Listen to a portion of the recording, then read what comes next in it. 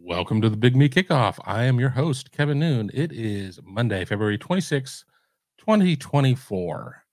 And got a couple topics to talk about today on the show, including the NFL Scouting Combine, a new hire at Ohio State on the football side of things, and oh, by the way, the men's basketball team doing things. But first, I want to remind everybody that we're brought to you in part by our great friends over at Know Naturals. Let me get that scroll going.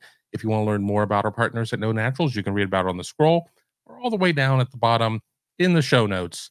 Be sure to check them out, and I will tell you about them a little bit more here later in the show. And by later, I mean like in a minute or two. But I hope everybody had a good weekend. It is NFL Scouting Combine week, and that is one of my favorite weeks. I have covered the NFL Scouting Combine almost 15 years yeah, I, I, think that would be about right. I would say I think it's been about 15 years, give or take. I mean, it wouldn't surprise me if I went down and counted credentials and found out that it's been more than 15. Uh, I've this has been a fixture for me going out to Indianapolis. I've always said that my coverage of these players goes from the moment they emerge on the high school scene all the way up until the NFL draft so we're pretty much almost to the end of the run with this generation of players with the combine, Ohio State's pro day, and then the draft. And with the draft being up in Detroit this year, I have a really strong feeling that I will go and cover it with Marvin Harrison Jr., supposed to be a top five pick. Now, if Marvin bucks the trend and doesn't go and doesn't want to be part of the green room, will I reconsider? Uh, I don't know. We'll see. But more on that here in a second as I tell you about our great friends at Know Naturals. Are you ready for an entirely different edible experience? Welcome to No Naturals, where we're shattering the stereotype of one note, slow acting gummies. Forget waiting over an hour to feel the effects. Our gummies are fast acting in just 15 to 30 minutes. You're not just choosing a flavor, you're choosing your vibe. With five core experiences and six custom combos, you're in full control. Whether it's energy and focus without the crash, a peaceful slumber that lasts all night, or a game changing burst of bliss and euphoria, these edibles are the real deal. And the best part, you don't need a doctor's recommendation. Know natural gummies are dispensary quality and discreetly delivered right to your door. So whether you're craving a productivity boost, a good night's sleep, or some blissful euphoria, say hello to Know Naturals. Try them today and use code HUDDLE10 for 10% off your order at shop.knownaturals.com. Know your edibles. Know your experience. Know Naturals as I've as I've said before, big fan of the product. Uh, I use Sleep Ones, and they have helped me get to sleep. I've had a hard time sleeping for a while now, and these these help. So check them out. Shop.knownaturals.com. All right, now that we've got the housekeeping out of the way, let's start by talking about the NFL Scouting Combine. Eight Ohio State players will take part in one way, shape, or form. One player that will take part but not be working out is going to be Marvin Harrison Jr., uh, the talented Ohio State wide receiver, winner of the Biletnikoff Award, going to the nation's top wide receiver. Not only not working out at the NFL scouting combine, probably not going to work out at Ohio State's pro day either. He's going to focus this time. He's still in Columbus at the Woody, working with the Ohio State strength and conditioning staff. He's not training for the combine. He's training for the National Football League. We've always talked about what is it when it comes to the 40 and the bench press and the vert and the three cone drill and you know all of these things the short shuttle. You can measure things you can gather things in terms of how it extrapolates through how a player could perform. I mean, obviously, the 40 shows burst and speed, and when you know when you get up to speed, and et cetera, et cetera, et cetera. The the uh, the the the vert is going to show explosiveness. The long jump is going to show this. I mean, you've got all these things, but if you've already got a tremendous amount of tape, are you really gaining a whole lot by taking months in training for drills that you have to do once or twice, I guess if you add to into the pro day, or should you be focusing on the craft that got you there? And I'm a big fan of the NFL scouting combine, if you hadn't noticed. Again, covering 15 of them or something in that neighborhood. I don't want to see anything that would ever lessen the meaningfulness of the event. But I don't think that Marvin Harrison Jr. is making a bad decision here. And there are going to be some people are going to say, well, he doesn't want to, you know, he, you know, doesn't want his top end speed to be exposed or doesn't want to show that he can't bench or whatever. I, I don't care how many times Marvin Harrison Jr. can put up 225. I really don't. If you're going to show me a defensive player that is in the trenches, contact all the time, I'm going to care a little bit more. But I don't really care what Marvin Harrison Jr.'s numbers are in that. I would have loved to have seen him run. I would have loved to seen him go through the gauntlet. I would have loved to see a lot of these types of events. But he is a football player. He is not a combine warrior. He is not going on American Gladiators. He's not going on something like that to where these are the events that we have to see to be able to figure out what he's all about. We've we've seen it. We've seen it through his 3 years of tape. We've seen it with the additional work that he does always working with the with the monarch machine things of that nature now could this turn some teams off this decision you know i don't know i can't speak for that i guarantee you if he's sitting at four arizona is not going to be like well we would have taken you if you would have run the short shuttle but you didn't so now we don't know I, so I I don't I don't really see a negative here but it doesn't mean every player could get away with this. There, I mean, and honestly, I don't think that I would even let a quarterback get away with this. And getting away is maybe not the term I want to use because it sounds like that I'm agreeing that there is an admission of of skipping out or, or or whatever. I I want to see certain things out of certain positions, but my wide receiver run routes, catch balls, block when needed, and don't be dumb. I mean, you know, that's really what I need to see. And he's going to meet with teams. He's going to go through the interviews. I'm sure they're going to put him through all the psychological things and ask him dumb questions to see how he responds. And all of that is going to be there. It, Marvin Harrison Jr. grew up in the NFL with his dad, obviously. And none of this should come as a shock or a surprise. So once again, another place of where maybe Marvin Harrison Jr. has a bit of an advantage over your run of the mill athlete because of his father's status being an NFL great. So we'll see how this works out. And we're supposed to talk to Marvin at the combine. We will not be putting any of our videos up live. Uh, there's some restrictions, and even if we could, I just the bandwidth in there is just not going to work. So we will upload it shortly after the interview is done. We're going to be shooting a lot of videos, not only Ohio State videos, but of just top players. Just top players. You never know what's going to be said. You never know who's going to want to watch, but be sure to keep it locked in here, not only at uh, youtube.com slash Buckeye Huddle, but also over at our sister station over at Saturday Glory, where we will put up a lot of our other videos. We will not bog down this feed with a lot of other school players, but we we're going to be there, so we may as well shoot it, right?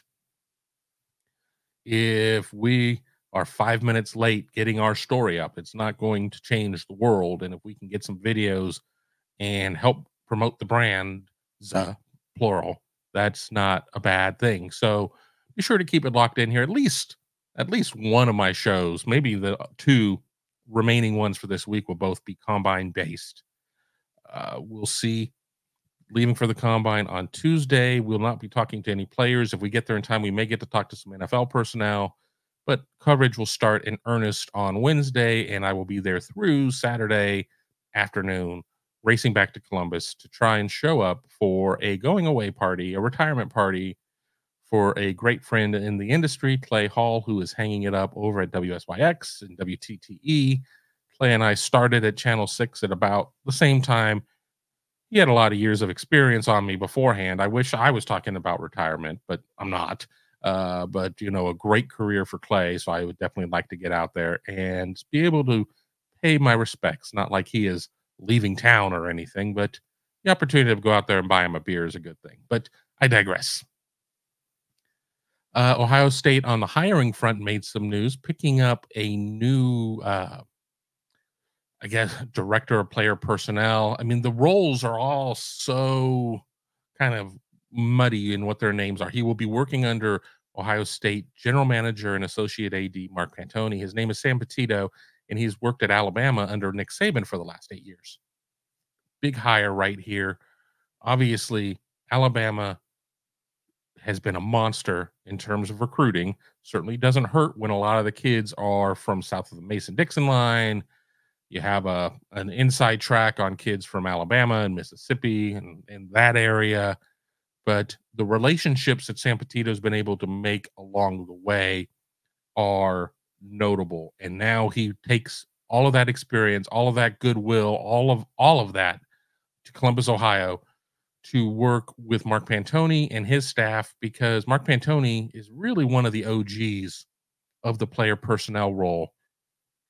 And Ohio State has had a bit of a revolving door of people that have worked under Mark Pantoni who've then gone on to get their own programs or move into roles that have either been similar or up uh, to Cincinnati to USC, places like that. So, you know, this is going to be a big hire people are going to be like, well, is it going to be at Ohio State for a year, two years? I, I don't know. I, I, don't, I can't really look into a crystal ball and say anything there. But he worked under Nick Saban for eight years. And that shows me somebody that not was not necessarily looking to be a job hopper. Now, how does this, you know, how does this necessarily work out between Mark Pantoni and Sam Petitto, and you have like Aaron Dunston there. I mean, you've got a lot of people in the department. Well, when when you're recruiting for Ohio State, much like Alabama, it takes a lot of efforts and efforts of a lot of people to be able to maintain the product, the quality, and everything there. So I don't have a feeling that Sam Petitto is going to come into Ohio State and feel that he's been shoeboxed and compartmentalized into a small role as opposed to maybe what he was used to doing at Alabama. Again, he was not traded to Ohio State and is under club control and this I mean he he's coming into Ohio State with his eyes wide open, knowing exactly what his role is. And I can I'm I'm pretty confident in saying that Kalen DeBoer would have loved to have kept him. I can't imagine that this is a well, you got to go. But you know, I haven't followed up on what's happening on that side. But uh, you know, Alabama's loss is Ohio State's gain. I think this is a big move. Uh, the parents of Devin Sanchez both went to social media shortly after the news kind of came out. I believe Dan Hope of 11. No, I'm sorry. It was Alex Gleitman of Lettermen Row had it first. Yeah, good friend Alex uh, of ours. Uh, so I want to make sure I get credit out there correctly. But shortly after that, uh, the parents of Devin Sanchez came out and made posts on social media just really praising the hire, praising the man, just, you know, how how great the relationships were with Sam even when Ohio State landed Devin Sanchez. Sam, you know, Sam was very congratulatory. I'm not going anywhere yet. I'm, you know, going to continue to to pursue and well, now he's going to get to help Ohio State play defense there in keeping uh, the, the commitment of, of Devin Sanchez, among others, Naeem Offord, the whole class. I mean, as he's not an offensive or defensive guy, he is over recruiting. So uh, I think this is one of those moves that everybody's kind of reporting on, but do you really understand the magnitude of it? I, I don't know. I mean, I really would like to at some point sit down with Mark Pantoni and get a little bit of a Venn diagram of how these duties are spread out, where the overlap is. I don't think I would ever get the keys to the castle to know all the information, but you know, there certainly is a splitting of the duties, and Sam Petitto is uh, is a, a known quantity. And when you pair him up with Mark Pantoni, who is also a known quantity, it makes Ohio State that much more dangerous. So uh, you know, be excited about that. It certainly doesn't hurt too of where he was located before, as Ohio State continues to recruit guys like Micah DeBose out of the state of Alabama, guys that you have to figure that Alabama was certainly all in on beforehand. plus two just he already knows all of the names of the guys that Ohio State is recruiting at this. And he may bring some fresh perspectives on guys that don't have offers yet, who right might might be on the borderline. I mean, ultimately that comes down to Ryan Day and the staff as to where the offers go. But you know, they they rely heavily upon their recruiting staffers because it would be a 40 hour a day job to be able to do everything that is asked upon you if you were to just carry the water yourself and not not delegate. So big hire, big hire. We'll talk about this more, I'm sure, in the coming weeks, and maybe we'll even be able to convince Ohio State sports information that we need to talk to Sam Petitto. But I'm not going to hold my breath yet. We'll end on basketball. This is not normally a basketball show, but we've done basketball episodes in the past, and I have a feeling if you've made it already to the 16 minute mark of this show, you are a you are a big time Big Me kickoff fan and are just here for all the information.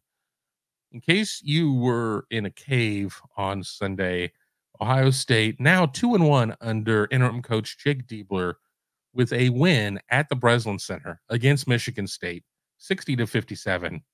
And what a game it was. I mean, it wasn't a game earlier as Ohio State was down double digits, didn't have Jamison Battle. He had eh, an ankle injury, was ruled out for the game. So you go into a building that you've not won at since 2012. I believe it was like 4,357 days since Ohio State won at the Breslin Center prior. And that's just me trying to pull it off of what I remember from watching the telecast. Ohio State gets d- down into a hole, just does not appear to be connecting, and then slowly starts to, to claw back in and claws back into five or six, and Michigan State runs out a little bit, and then Michigan State goes ice cold. And Ohio State did some things that we really hadn't seen a lot of. Ohio State went really big with uh with um Zed Key and with uh Felix Okpara. And while we've seen some of that, they've had some big lineups in there and they just really pestered Michigan State in a game that Michigan State desperately needed as Michigan State's trying to get into the top four of the Big Ten to get the double bye. Uh, and the Buckeyes just kept coming and coming and coming. And Ohio State ends up uh, tying it up and then taking the lead at the free throw line. Then you have Michigan State who comes back, gets a basket. Ohio State ties it up at the line again we get down to the final 11 seconds, I believe it is. Ohio State and Michigan State are tied. Michigan State employs full court pressure. Ohio State takes it up on the sideline of, of where the benches are. It gets to uh, Bruce Thornton, who finds uh, Dale Bonner. Sorry, had a little brain fart there. Finds Dale Bonner, who is draped all over. Michigan State played great defense on him falling away, hits the three with 0.2 seconds left. Team storms the court. They go, they review, 0.2 seconds left. I've seen a lot in my years. There was no situation of where Michigan State was going to be able to tie the game with less than 0.4 on there. You cannot you cannot catch and shoot. So it would have had to have been a tip in from three point land. But of course, in in the middle of all of it you're just trying to figure everything out you're trying to sort it all out so i don't think anybody was really thinking about it uh, you know michigan state thinks about it for a second there's no timeouts left in the game throws it in nothing happens ohio state beats the spartans this goes along with the win over purdue so now you have jake diebler two and one does that mean that jake diebler is the favorite to land the job no probably not what is it going to take for jake diebler to get an interview to be a major candidate? I don't know. Does Ohio State have to win out of the regular season and win a couple games in the tournament and, and make the field somehow?